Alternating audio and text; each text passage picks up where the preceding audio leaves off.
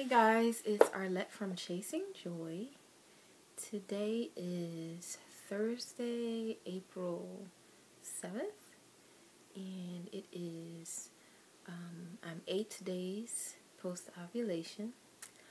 Um, so this this should be a two a two week wait update video where I tell you guys how awful the wait is and go over my symptoms and stuff, but unfortunately it's um I'll try I'll touch on a little bit of that, but it's really not that video. This video is going to be pretty short um, because I'm sharing some sad news with you guys. Sorry.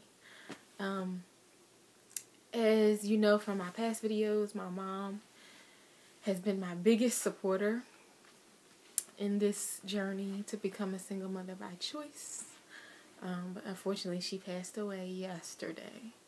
Um, and I thought it was important to do a video, let you guys know, because I'd asked you guys to pray for her, and you'd heard her voice on lots of my other videos. She was the one reading me the questions when I did the um the uh the Q and A with um Boston Girl, another um, single mom by choice, uh, black single mom by choice YouTuber. We did a collaboration, and my mom was the one reading me the questions. So you've heard her voice um, throughout these videos. So I wanted you guys to know. also, um, I really was hoping she would hang around a little longer for me to find out if this cycle was a good one, if it was positive. Um, but unfortunately, not. I'm happy that I did get pregnant earlier this year, um, or I guess late last year. And even though it didn't result in uh, a, healthy pregnancy, at least we did get to share me getting the news and, and all that. So we did have that. Um, and then the other thing I wanted to share was just that, like I said, she was my biggest supporter on the journey. Um, I know a lot of people, of my family, don't quite understand what I'm doing, and some friends weren't on board, but she was from the beginning. And she wrote me a letter that I didn't re- get, um, that I was to read when she passed, and I read it last night. And she she talks about it in the letter, so I was just going to share just that part. Um,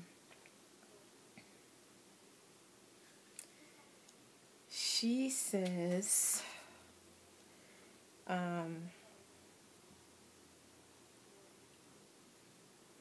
sorry. She says, when you told me about having a baby, I thought my prayers have been answered. When I do go, you will not be depressed or grieve too long because by then you will have someone who needs you, who needs your love and attention to keep you grounded in the here and now. Your dad and I will be watching you and our first grandchild. So, I just thought that was really awesome. Um, she's still cheering me on and supporting me in the journey and always will. So, unfortunately, another sad video for you guys. I'm so sorry. but I hope that this is the last one. Um, the last sad one. I am eight days post ovulation. Um, I haven't started testing yet because it's too soon. Um, I might start testing in a couple of days. Um, I don't feel the urgency as as I have in past two week waits. Um, I guess because just so much else is going on. Um, and having so many, such a mixture of emotions. But I'm still praying for a positive. Um, so that, like my mom said, I can be focused on the future and my bundle of joy um, and not grieve too long. Um, so, as for how this two week wait has been, physically, um, in the first few days, I felt, um, if you didn't see the previous video, I did back-to-back IUIs, which I now know is called bracketing.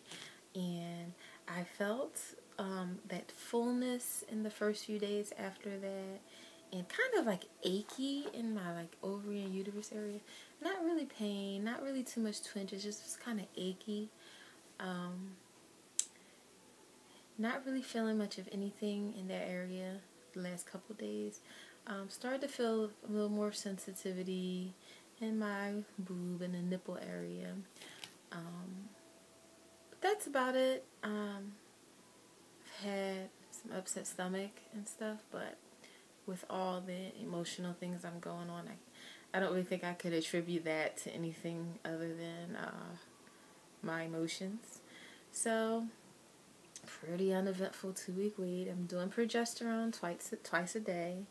Um, last couple nights I forgot about my other vitamins prenatal, and uh, I do CoQ10 and I do vitamin D.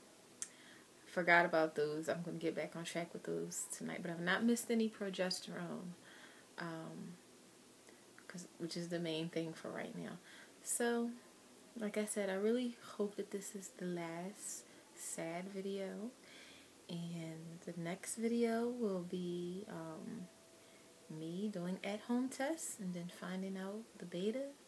And I'm praying that this will be a positive cycle, um, that the bracketing will have been beneficial um, but if not, I'll be charging ahead,